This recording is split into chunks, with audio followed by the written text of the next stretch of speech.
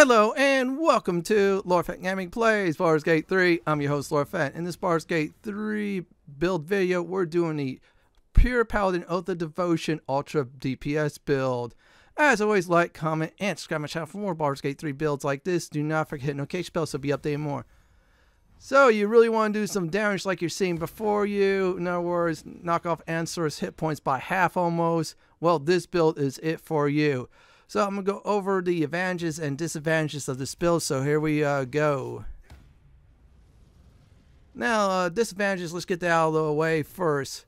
First of all, you're not going to have the third extra attack like a fighter. That's the only uh, disadvantage that is really uh, bad. Since you're doing radiant damage, on the other hand, certain bosses, yeah, you're not going to be able to have uh, enough damage on uh, Smite. Uh, another thing I'll probably say, one more for disadvantages, you got to be real careful on your choices in the game because if you become an Oathbreaker, Smite and the other goodies are going bye-bye. Now, let's go ahead and talk about the advantages. With this build, you're going to have 20 not only strength, but also 20, you guess, a charisma. Yeah, I have some ways to uh, go ahead and do that. Your smites are really powerful, especially foes weak against radiant damage. Another thing I would definitely say in there is really good is you could be heavily armored. So yeah, you could be able to wield a two-handed sword doing some damage like that. Uh, another thing, one more advantage I'm to say this is uh, really big in my eyes is your two-handed weapons. Yeah, you use that, you could do a lot of damage with this uh, build. So I'm to go over everything from, of course, leveling up, potion, gear, tactics, even uh, some permanent stat you should definitely get. First thing I'm to go ahead and uh, start at this time is, uh, I should say, character creation. Let's uh, go over the races. So I decided to pick a few races to go ahead and do this. You're asking also, can any of the origin characters also become a Oath of Devotion? Minthara can be, but she's more vengeance, but still you could change her to Devotion if you uh, definitely want to. So I'm going to go over uh, the first race, which is Tiefling. Now, I'm going to go ahead and pick is the Zariel Tiefling. Now, you get some very nice smites out of Zariel Tieflings, which is very powerful. And you get yourself a nice Intimidation level 0 spell. Very useful to use if you want to uh, intimidate or use perform checks, I should say, definitely against certain uh, NPCs for your advantage. You're a paladin, you have high charisma, so yeah, take advantage of that. Tieflings have hellish resistance. That means they are very resistant to fire. They have dark vision, which is nice. And their uh, base racial speed move is uh, up there as uh, well. I'll probably say this is the best race to pick. Now, uh, next one's human. This is another good one. You can select an additional skill for more proficiency. You get proficiency in spears, pikes, halberds, glaives, and uh, armor proficiency is uh, light armor and, of course, shields. And I'm going to go ahead and just show you uh, this uh, fifth proficiency if you're a human. So uh, you could also pick another one, like for example, you could pick if you pick athletics, intimidation, persuade, insight, and then your fifth one could be deception or anything else on that list as well. You can do Sleight of Hands, history, any of the uh, good stuff. So in other words, you have advantage in skills, which is really nice. So let's uh, go over the next race, uh, Githyanki. This is a surprise one. I play Lae'zel. She is really good. Githyanki is nice. First of all, you get yourself an astral knowledge, which will give you proficiencies in uh, all skills of a chosen ability. Pop that baby, you're all set. This is also nice, so in case something gets stuck, you could grab it and yank it down, which is uh, good as well. Uh, another thing, you get race movement's nice. Uh, martial uh, prodigy, what's good about this is since we're using a two-hand weapon, is great swords. Well, besides light and medium armor, you'll be wearing medium armor at the start, but that great sword is a nice advantage. Now, I picked the gold dwarf for another race that is good since you get a little bit more hit points every level, so it's about 12 extra hit points, and it can come down to it. And dwarves are actually uh, pretty good for uh, this uh, paladin build as well. Besides the uh, base racial speed's good. Dwarven combat training, I say a battle axe is really nice for this uh, build, if you want to go uh, that route. Dark vision, that's always good. And one more thing I want to point out is Dwarven resistance. Early on, you could get poison you can resist against that, so you can survive very well. Last but not least are half orcs. Their racial speed is same as the tiefling, which is good. Then gain dark vision, which is nice. Relentless endurance. If they get knocked down, they'll be back up. There's probably cooldown. Very good with that. If there's a tough battle. Now this is the best part I'm going to talk about. When you land a critical hit with melee weapon, you deal an extra dice of weapon damage. So you have high uh, dice on certain thing, you do extra damage. So half orcs like the brute squad. If you want to go for more damage, that's for half orc. I felt like a Zariel Tiefling's good because of resistance. You get some smites along the way, extra smites, which is really good. I'll explain about that when I do level up this uh, paladin. Let's get to the next uh, part. So uh, paladin, there are three oaths. Well, fourth one is you break the oath.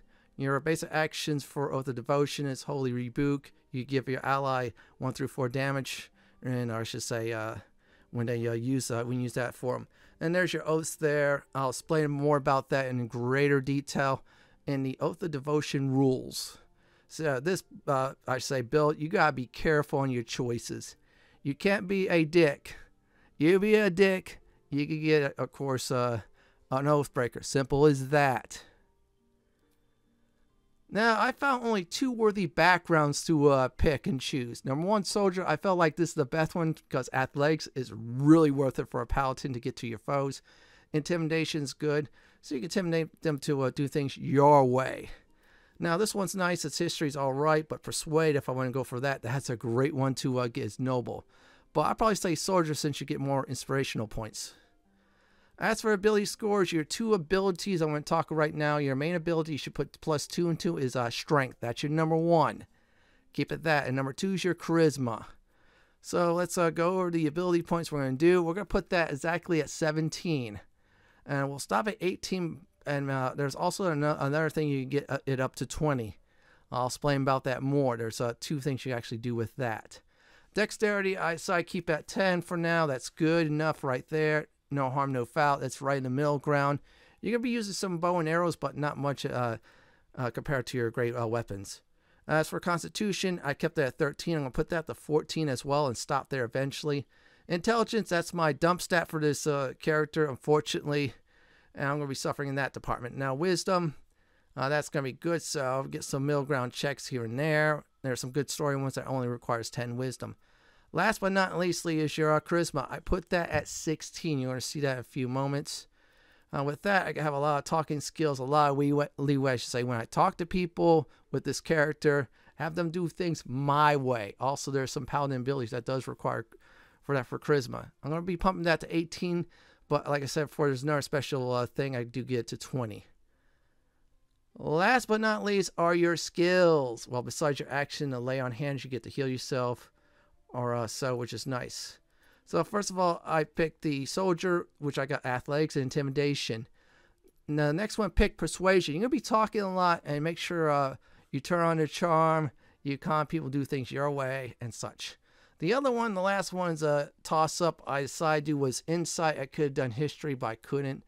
But I felt like insight's better. This way, I detect more, detect more lies, detect more stuff, and things like that. You're going to start out slightly slow, but once you get your smites, I'd say level 2 or so, you do a lot more damage. Once you get yourself a nice magical great weapon, you're going to be flying up from here on out. And that's about it for character creation. I'm going to go over the Oath of Devotion rules. So let's do that at this time. So here's the deal in Baldur's Gate 3 on the three oaths of being a paladin. You have a set of rules. Each of them are very different. Number one, do not break your word. So, for example, you promise not to attack someone and then you attack them next time. Yeah, that is a uh, path to the oath breaker. Do not be cruel. So, in other words, do not torture anyone. If you decide to torture someone, you're an oath breaker. Do not kill the innocent. So, if you decide to kill a Bay Knight who's a merchant who's just there to uh, buy and sell stuff during combat, yeah, you could become an oath breaker. There's a special case on that. That's why I'm saying it there. So, be careful on that. Do not cheat people. In other words, uh, yeah, don't be a cheat at all. Another one's be compassionate. If someone needs uh, a healing or something like that, or if they're, uh, you know, I mean, wounded, you heal them up, give them a potion, something like that. Help others. That's very important. That's right. You help them out. Now, one more I didn't put was is uh in the game is uh there's a certain point where you have to you could have someone assassinate the goblin in front of you don't let them do that. That's a path of being an oath breaker as well. So let's go ahead and level up our characters from 2 to 12. It is time that we'll go ahead and level up our paladin. Please note this is a pure build. In other words, you're going through the paladin process of 1 through 12. Even if you multi-class, you still have the oath to maintain. So do be careful on that. So we're going to go ahead and start leveling up. First thing we're going to do is level 2. So we're at level 2. We get our class features. We get our smites. And we get our fighting styles. And we also get some spells as well. So let's pick our fighting styles. Pick great weapon fighting style. Now uh, this happens you roll one or two. You get to do a very nice re-roll again. Which is uh, good. So if you uh, get a critical miss I should say or a near critical miss, well, guess what? That's it. And this is our uh, path for a weapon to use from this point on. So any two-handed weapons you definitely go for. And there's our smites there, including reaction ones. Yeah, set them if you want to. Now I'm going to go over uh, each of the spells of my personal selection. Thunderous Smite, this is a very nice one. You can uh, push back foes, and of course they have a chance to put them in prone. In other words, they'll be down for one round. Very useful. Also, if there's tough enemies, you can knock them off the cliff. Just remember, you lose that loot. Next up is Searing Smite. Uh, this will do, uh, I say, fire damage like a normal smite instead of divine. It's very nice. Also, your foes will be on fire for 10 rounds if they don't uh, make the resistance. Another one I like to uh, do is Divine Favor. Your weapon uh, attacks deal additional 1 through 4 radiant damage. So if you need a little bit of, of help, pop that sucker and then go to town. another one I'm going to go ahead and pick is, uh, let's see here. Where's that? Okay, this one's a good one. Wrathful Smite. This frightens your foes. They have disadvantages on ability checks and attack rolls against you, and they cannot be moved. In other words, you want to freeze a foe that keeps on running around like a wizard or something like that. Pop that baby. Uh, next one I like on uh, is a compelling duel. Force an enemy to attack you, gives you a, a nice advantage against them. This is like a taunt, so if you want to really taunt your foes, go ahead. I use it from time to time, but not much really, since I just go after them and kill them quickly. Honorable mentions bless, so if you're forced into a healing situation or a healer, you could use that as well. You can also use uh, cure light wounds as healing is uh, that too. So let's go on to, you guessed it, level 3. Now we're at level 3, besides getting our fighting style, and we get ourselves some more things. Plus some nice Zariel Tiefling stuff as uh, well. Since we're uh, that, we get a little bit more sm smites. Uh, first of all, let's see here. Uh, action, we get Sacred Weapon. So you turn your weapon into a nice Sacred Weapon. You do more damage with that. And emits a light as uh, well. You get Turn Undead just like the Cleric, but the Cleric one's a little bit more powerful. Very good to uh, have. It, it costs your uh, Channel Oath charges. Now you'll be able to cast Protection from Evil and Good. Very nice spell to have if you want to do that. And uh, since we're of devotion, we get sanctuary. It's like a nice protection spell. If we want to go that route, we cast it on someone else. Uh, as for our race, we get ourselves a Searing Smite free. So we get that free just like the one we get level 2. And it's a bonus action. So uh, next one I want to talk about is Command. Command a foe to flee, move closer, freeze, drop their weapon in the ground. Or uh, I say drop themselves to the ground good to have if you want to really mess with foes who run away, just like the uh, compelling duel one, except for it's not a taunt. So let's go to the next level, which is 4. Now, for any uh, pure levels, you do is 4, 8, and 12. That's where you get your chance to get some feats, which we're going to get right now. Lay on hand charges, we get additional lay on hand charges, which is really good. As for prepared spells, I'm going to leave uh, Bless on here because I felt like that's a great idea to do so. Again, uh, if you don't have Shadowheart in your party or a cleric, this is a great uh, opportunity to use that. And I got Divine Favor as well uh, there too. So uh, as for feats, uh, let me go ahead and explain about why I'm going to pick the uh, feat next. I'm going to go ahead and pick the Great Weapon Master. Reason being is this, early on, we get some extra damage against foes, especially for our next level at 5, we get an extra attack. And if we get extra attack, this will be very useful and coupled with that. So when we score a critical hit or kill a foe, we get ourselves a free attack from our bonus action. So as long as we don't use a bonus action, we get to, uh, of course, do another attack. Kind of like Cleave, uh, and I should say, in Neverwinter Nights. So you hit one foe, you do critical hit or kill them, you move on to the next one, as long as you don't use your bonus action.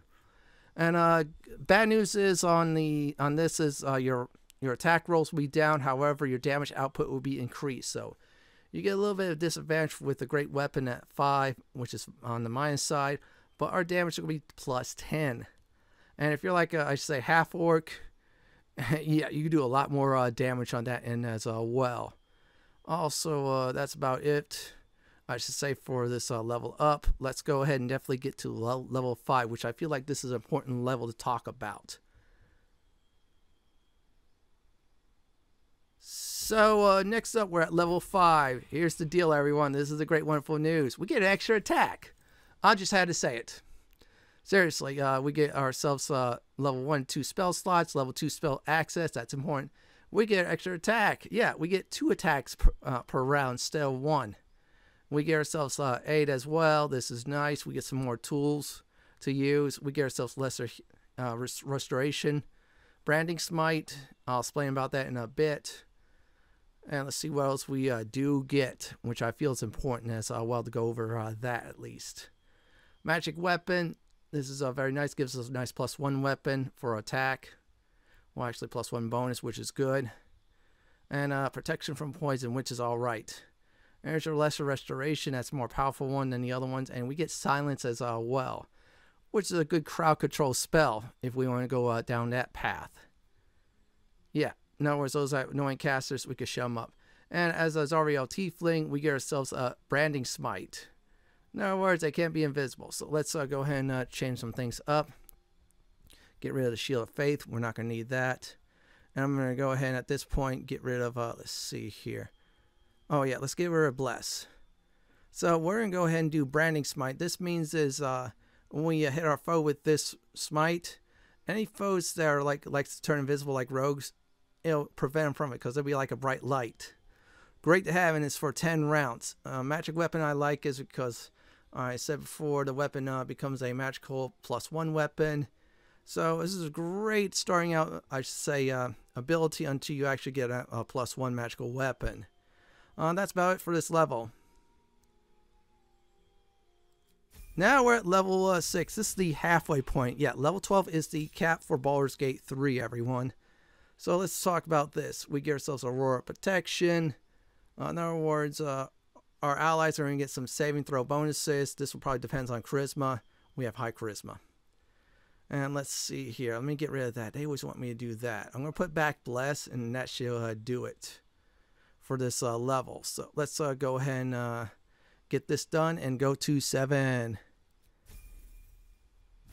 Welcome to the second half of levels in Baldur's Gate 3 we get some few things. We get ourselves another spell slot, Aura of Devotion. So any allies near us, when we pop this baby, they cannot be charmed. Just like the other Aurora I didn't mention, you get knocked out or killed, that goes bye-bye. So let me uh, go ahead and uh, get rid of the Shield of Faith. I don't need that. I'm going to put Aid there. Well, that's a good one. This way we get plus five, I say, hit points if we want to do that for someone. It's just a thing we need to fill, of course, the uh, gaps. Let's get to the next level. As I mentioned before, 4, 8, and 12 are your feats if you're going a pure path. We get ourselves a new feat. You heard me right, another feat, folks. But for now, I'm just going to go ahead and just uh, put, uh, see here. Yeah, I'll just keep that there. Keep the Shield Faith there, plus 2 armor class. I, really don't use that at this point. It's just to fill the gaps. If I want to, I'll switch it out for, like, for example, Cure Light Wounds. Now, at this point, I'm putting ability score. I'm going to put Strength at 18 and stop there. Uh, main reason being is uh, this, everyone. So uh, here's the uh, deal. There's a certain thing you could do in the game in Act 2 to actually get strength up to uh, 20. In other words, you get two more strength points. I'm take advantage of that. And as for Constitution, I'm going to put that to 14. So our uh, strength checks are now going to be plus 4, which is good. And as for Constitution, I believe it's plus, 2, which is a great thing as well. So we'll get our main stat up there, which is uh, wonderful. There's also items that will uh, boost as well in potions too. As for Constitution, like for I need more hit points, we get a nice modifier plus two. And We get to resist some uh, things that does require Constitution rolls, which is uh, great for this uh, build in case we're going in the thick of things with our two-handed weapons. And that's about it for this uh, level. Now we're at level 9. After this level, it's just three more levels, and that's it for this uh, game leveling up. Now we get level 3 spells. First, we get our level 3 spell slot unlocked. We get uh, things like Aura of Vitality, which is not bad. Uh, blinding Smite, we could blind someone finally. Yeah, Aura of Vitality's alright. It restores Vitality. It's a good uh, helper out, I should say, on that. Yeah, this is a Smite that blinds. We'll get into more of that later on. Another thing, Crusader Mantle. This one's all right. It's like the other uh, version that gives one person one through four radiant damage. This one's just like everybody gets that. Another thing I like is Daylight. You pop this in, in the field, especially near vampires. Yeah, they can't go into mist form. Yeah, they get blinded. Uh, elemental weapon that is not bad at all. You just pick the elemental you want to change your weapon to. Good for situational things. Uh, remove curse, very important to have. We have that for oath spells, which is OP. And we get revivify. So we get to revive someone. When we do that, they get one hit point. We get a beacon of hope. You and your allies regain maximum hit points possible when healed. They always get healed maximum amount instead of 1 through 8. It'll be 8 as always. And we get remove curse. Very useful in the story for some parts. So let me get rid of that. Uh, reason why I'm picking uh, Blinding Smite is uh, if we're facing against a tough melee foe, we hit that on them. If they get hit with uh, that, they get blinded. It'll be less likely to hit them, or I should say, our Wizard Gale. So, in other words, it's a great smite to use and abuse. So, we're uh, done with that. Let's get to our uh, next level, which is 10. After level 10, we got two more levels. So let's go on with that. We get our extra uh, charge of, I should say, lay on hands and we get ourselves another action, another aurora, or our courage. We cannot be frightened long as uh, our ally is near us. Again, we get knocked out. Guess what? That goes bye bye. I should say my main character, for instance, gets knocked out. That goes bye bye. Uh, another one I'm gonna get. I'm gonna get rid of this one. I'm gonna do is uh, mag- uh, elemental weapon. This is like a situational thing. We could switch to another elemental when we use that. So if we want to switch, for example, cold or electric, we'll uh, do that or switch to fire. You know, we already have smite, uh, fire smites like crazy, especially our Zariel Tiefling. So let's get to level 11. Now for level 11, this is a very short level. You heard me right.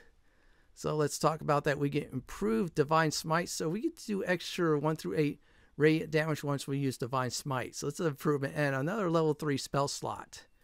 So let me uh, go ahead and get rid of that one. And I'm going to go ahead and do, uh, let's see here. I might keep that one. That's a good one to use. Another one's good as Daylight as well if we're face off against vampires. This is like a situational thing, more in Vitality. So we're in trouble. We pop that and then Shadowheart heals. That's a good thing. Now, uh, level 12, this is the last level of the game. So we're going to go ahead and get ourselves another feat. So uh, 4, 8, and 12, we do that, which is a wonderful thing. So let's uh, get the feat. I'm going to do ability improvement. I could do alert, but I felt like getting some more ability scores is better. I have charisma now at 18, so our talking skills will be much more better. I'm going to be raising that to 20. There's a certain thing you could do in the game to uh, do that. It's a permanent boost, as long as you know what you are doing. So that's the uh, thing. So we'll boost it there. Now, if there's a if we uh, somehow get a certain item and then do that certain thing, which leaves it, of course, um, I should say at this point at 18, and then we could also, uh, I should say at 20, I should say definitely, then we could use that certain thing to get more strength up there. But still, uh, I should say for now, get that to 18 with this build, and you're golden.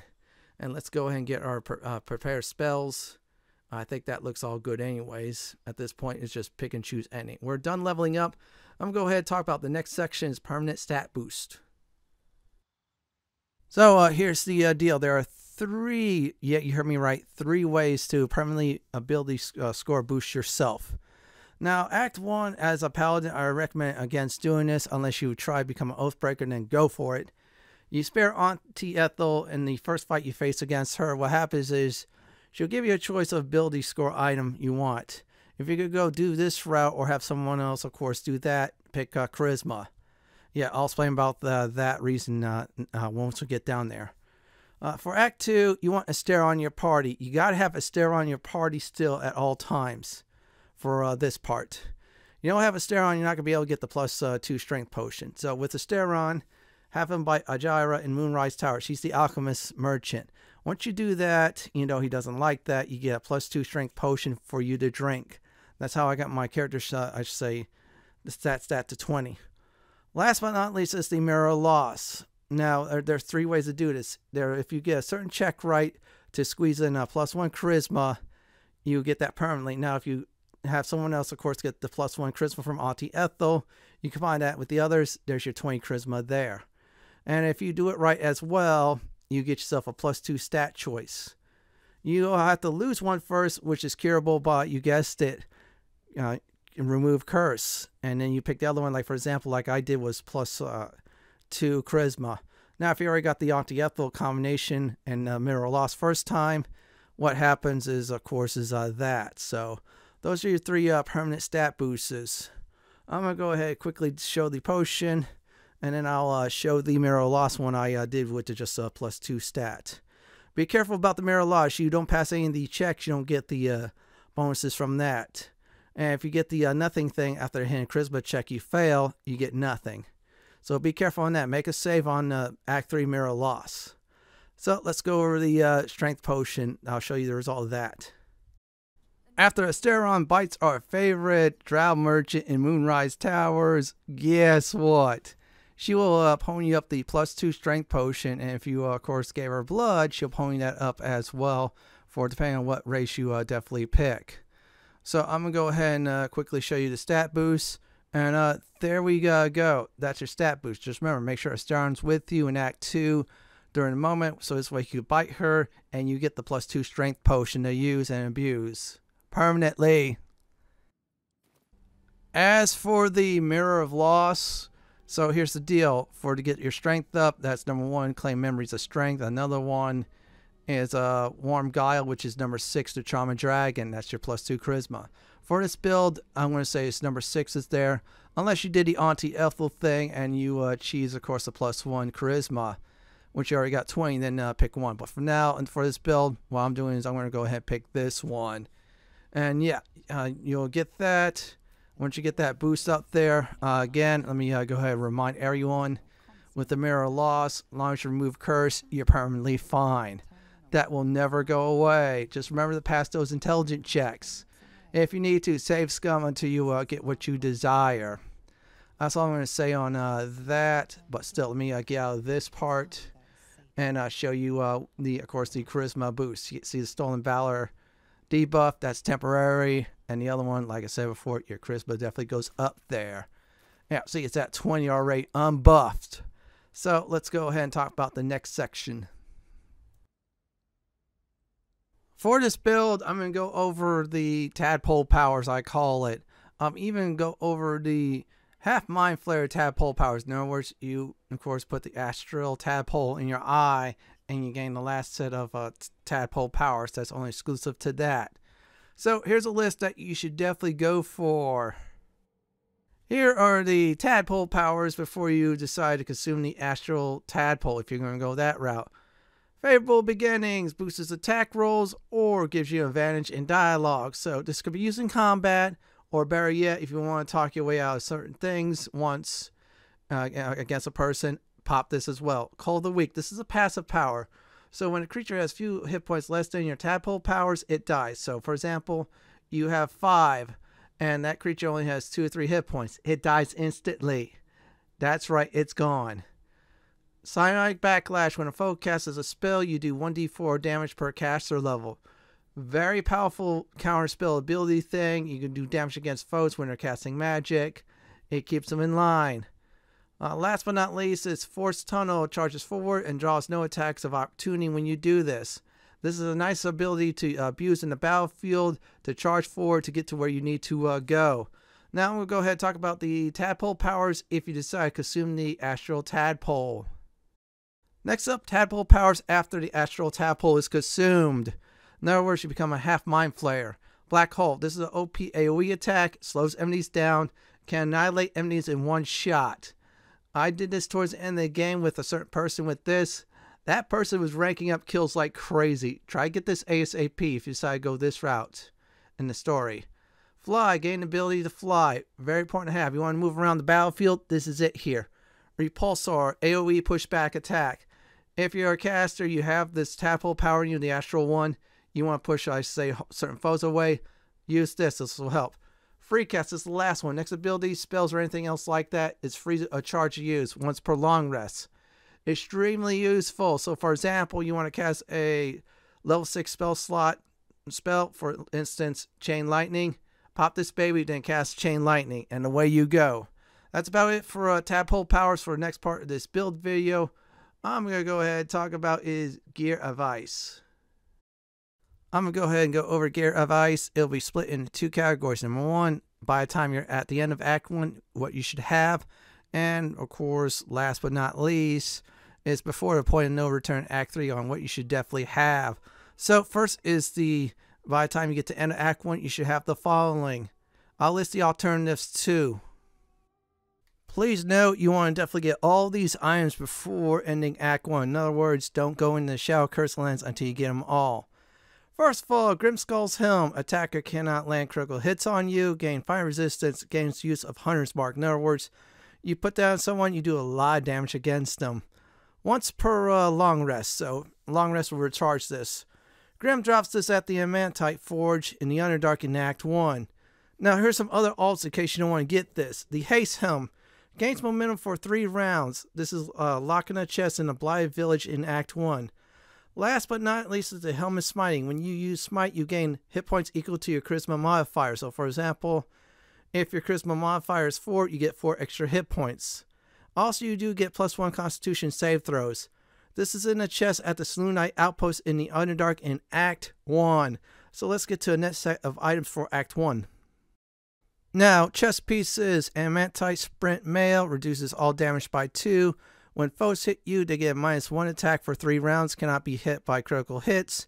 Adamantine Forge, you gotta create this in the Underdark in Act 1. You have to defeat Grym in order to uh, do this, so yeah, you're in for a fight. If you don't want to do all that, other alternatives is either Chainmail plus 1 you get at various vendors in the game, or full plate armor. They usually drop. Just trust me, go to Mountain Pass, there's plenty of those there. Next up, gloves. Gloves of Dexterity. I felt like this was the best gloves for Act 1 for my Paladin build. Dexterity is set to 18 and you get a plus 1 attack. Get Yankee Kresh. This vendor, I cannot pronounce her name. She sells it, so definitely have some gold before going into it. Also, buy before attacking. Another alternative If I did place, in case you don't want to do that as well, is Gloves of Growling Underdog. Two or more foes you gain advantage on melee attacks. If they surround you, this is uh, great. It's more like a tank glove, I feel like, than that, but it's a good alternative. Uh, this will uh, give you also plus one strength save throws, door, Razgrind. Yeah, that's that big old hobgoblin uh, fool at the Shadow Sanctuary's treasure chest crates. Yeah, yeah, get his key, enter his uh, treasure room, and his crates there will have the gloves there in Act 1. So let's get to the next set of items you need. Next up is the boots. Boots of Speed. This is what I felt like is absolute best. There's the disintegrating ones. I felt like those are more for rogues. So, but to me, I felt like Boots of Speed is the best way to go. When used, your mo movement uh, is uh, doubled for uh, one round. So you get double movement speed, so you can move around the battlefield and kick some butt. Thula, the Deep Gnome, has this. You got to talk her out of it or cure her, and she'll give you the boots in Act 1 Underdark. Alternate boots, in case you don't want to get those or do the work for it, boots of uh, Genial Striding. The wearer's movement speed is unimpeded by difficulty terrain, so you step on anything like water or something like that slows you down. Nope, it doesn't happen. Blurg sells this in Underdark Act 1, same the Mitochondria Colony. That's the same place where uh, Thula is at injured. So good idea to buy that. Next up are the cloaks. Unfortunately, uh, for the cloaks, there's uh, none. And I'm going to go ahead uh, get the uh, the necklaces instead. So let's talk about the necklaces. Amulet of Branding.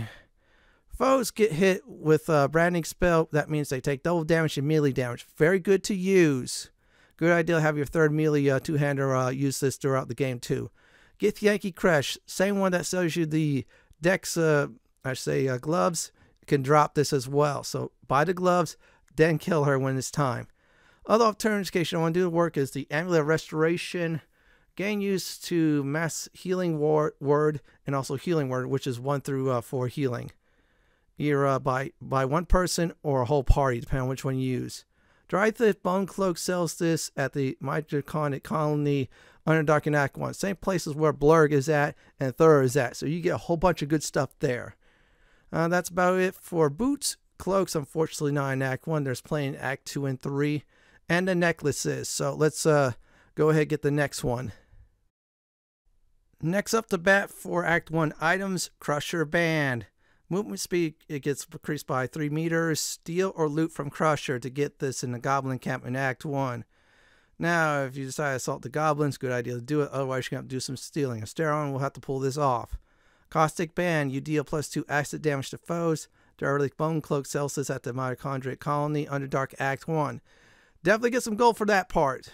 Now, here's some alternative rings. I picked two of them out of so many I definitely went through, definitely over some save files. Ring of Absolute Force, use of Thunderwave spell. Is like the Thunderwave spell. You cast it. It's more of a long rest type of deal. 1 through 6 damage, you push foes back. If you're absolute branded, you gain 1 extra damage.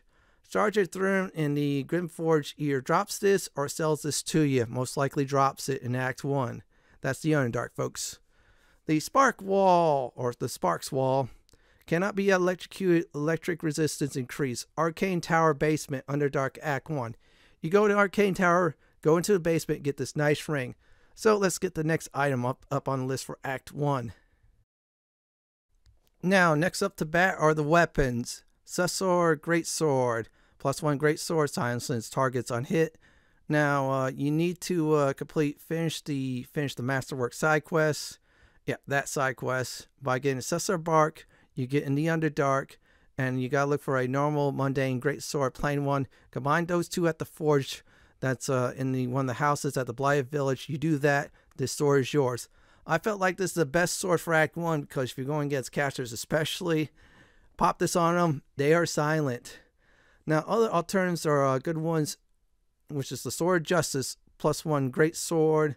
Tyr's Protection gives you this person with the buff, plus two armor class, ends when you remove the sword. Now, the drop off the uh, sword, if I remember correctly on my notes, does involve Karlach and her quest, and that is uh, absolutely drop you uh, guessed it, by Anders in the Risen Road toll, toll House. So you'll have to make sure you force to fight him, expose him, and then the sword is yours. Now, I'm going to put this as an honorable mention. Everburn Blade is good to have if you did get it by killing Commander Zhalk in the prologue. That's the uh, one Cambion demon that you face off against, optional to kill him. If you kill him, the sword's yours. If you cannot do that, Ignore it and then complete the act. You have the other two swords up there that's much better. So let's get to the last weapon. Last but not least are the Act 1 bows. Don't worry, you want to get one of these three bows by the end of Act 1. Titan String Bow, plus one longbow. This longbow does damage equal to your strength mod. So if your strength mod is 4, you do a lot more damage with that. Brem in the uh, Zhent hideout sells this in Act 1 after helping out the Zhents on their uh, quest. It's the uh, shipment one. Next up, there's no alternatives. Giant Breaker plus one heavy crossbow. Foes get minus one attack for two rounds when hit.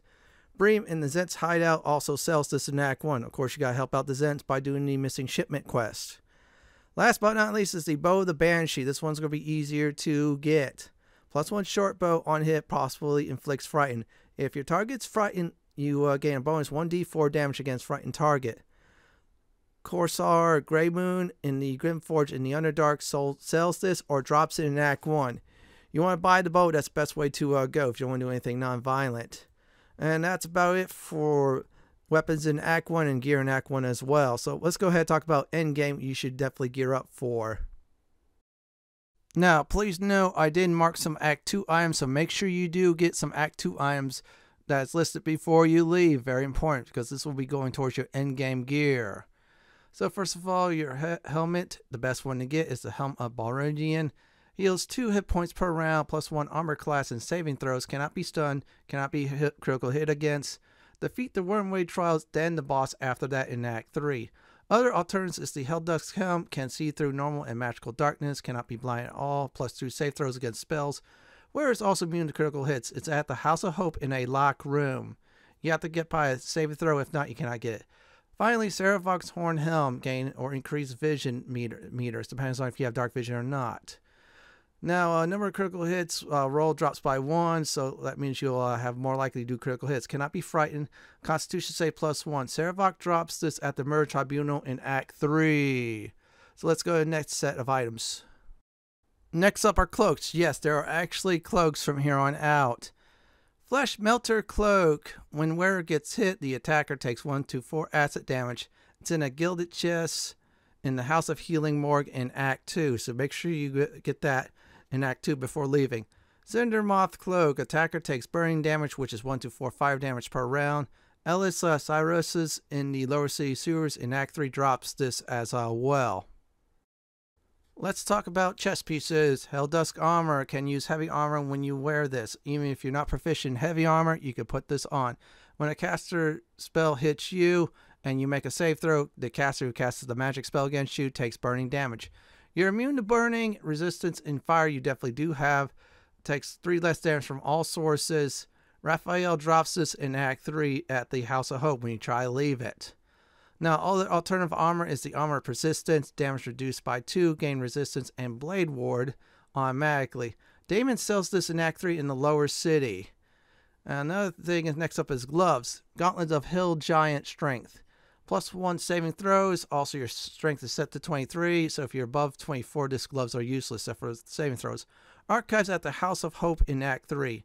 Now, if you want to look for better, or if your strength's really at 24 in your mind, Legacy of the Masters, plus 2 attack and damage rolls with weapons, plus 1 save throws. Dammon also sells this in Act 3 Lower City. Let's get to the next set of equipment. Next on our list are the boots. Helldusk boots cannot be moved by, ma by magic or mundane reasons. Immune to difficult terrain. When you fail a saving throw, you can use your reaction to see instead. Teleports to area when you use this a special ability and does 2 to 16 fire damage in the area. This is in Lord Gortash's room in Act 3 in a treasure chest. Lord Gortash has the key, of course. Alternatives for boots. Boots of Persistence. Gains freedom of movement and long stride. Two good actions you should have. Plus one dex saving throws. Dammon also sells this in Act 3. You're going for the armor, might as well go for the boots. Next up are necklaces. Amulet of Greater Health. Constitution set to 23. Unless it's uh, 24 above, that's useless. Advantage on Constitution sa save throws. This is in the archives at the House of Hope in Act 3, along with the Gloves of Hill Giant Strength. Other alternatives you want to uh, get. Surgeon Subjugation of Amulet. When scoring a critical hit on a humanoid, the wearer can paralyze the target for two rounds. This is once per long rest. Malus Thorm drops this at the House of Healing in Act 2, so make sure you get this at the House of Healing before you do leave Act 2. So let's get to the next set of gear. Next up are the rings. Killer Sweetheart. This is the very best ring in the game in my mind. When you kill a creature, your next attack roll will be a critical hit. Uh, and the thing is, this is once per long rest, but is very powerful. This is at the same self trial in the Gauntlet Shard in Act 2. Do not leave the Gauntlet Shard until you get this said item. Next up, Ring of Regeneration. At the start of combat, you regen 1 through 4 hit points. Rolan sells this in Act 3 at the Sorcerer's Sundries. That's that nice magic shop in Act 3 at Baldur's Gate, Lower City. Alternative rings you want to get in case you can't get either one of those. Ring of Reaction, you know the effects of difficult terrain, cannot be paralyzed or restrained. Araj, that's a strength uh, potion NPC I talked about earlier. Sells this in Act 2 at the Moonrise Towers. Get it before you leave it. Risky Ring. Gain advantage on attack rolls and disadvantage on save throws. Araj also sells this in Act 2 as well. Let's talk about the two-handed weapons. There were uh, quite a few good ones for, I should say, uh, throughout the game, so I limit it down to uh, two. First of all, Balduran's Giant Slayer. This is a great sword. On a hit, double your strength mod. So if your strength mod is 5, it will be 10. Add to uh, that. Advantage on creatures large and above. Plus 3 great swords. Enchant plus 3. Giant form is when you do 1d6 extra damage, 27 hit points, and strength uh, throw advantage is up there. Drops by the boss of Wyrmway Trials in Act 3, same as the helmet. Not telling you who. Now, last but not least, the Sword of Chaos. On hit, you regain 1 through 6 hit points. This is a plus 2 great sword. Now, couple that with the Ring of Regen, and you're just like regenerating hit points like crazy. Also, the Helm Reunion as well. This is loot from Sarevok and the Murder Tribunal in Act 3. Next up are the ranged weapons we're going to talk about. Last set of gear for endgame.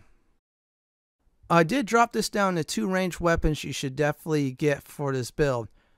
Darkfire short bow plus two short, short bow. This is gains resistance to fire and ice. Can cast haste. Dammon sells this in Act 2. If you're really lucky you didn't get in Act 2 like I did, you could get this in Act 3 as well if Damien makes it to the city.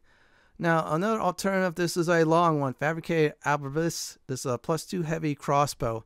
Illuminating shot, you fire a shimmering bolt that inflicts one of, of, of I should say, radiant orbs upon the target. That deals 1d4 piece of damage. Dazzling Ray unleashes a beam of brilliant light that blinds all creatures in its path. So make sure nobody is in the way of it. Until the spell ends, you can recast it over and over again. Cast it again may possibly burn you each time. Uh, this will last 10 turns. So uh, here's the deal. On save, target still takes half the damage. Now, if they don't save, they uh, get the 2d10 uh, on radiant damage. Very powerful. Lord Gortash actually drops this in Act 3. Worth the get. That's about it for endgame gear. Next part is build video. You guessed it, potions and oils. Now, before the combat demonstrations, we're going to go over potions, elixirs, and finally oils. So the first section will be the potions. As always, alchemy is your best friend in this game. Healing potions of all types are a must. Get them all, so take advantage of crafting some potions big time when you find some alchemy ingredients. Potion of Haste gains extra action, plus 2 armor class, advantage on dexterity saving throws, and double speed movement.